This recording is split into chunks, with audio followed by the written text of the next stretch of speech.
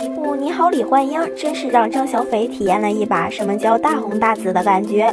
虽然在剧中扮演的是贾玲的母亲李焕英，但现实生活中，张小斐也成了很多人的母亲。不论是机场接机，还是电影的应援工作，有很多网友粉丝见了张小斐，第一句话开口喊的都是妈。来来妈了，别洗来了，别妈来了，给咱妈让条路，你这么近，妈怕了，妈对于粉丝的做法，张小斐自己也是有些无奈了。毕竟她今年也不过是三十五岁，至今未婚，喊个姐姐还行，喊妈真是无法接受。连她本人都说，一直被别人叫妈妈，感觉自己太老了点儿。只不过，也许这就是成名的代价吧。谁让你演贾玲的母亲爆火了呢？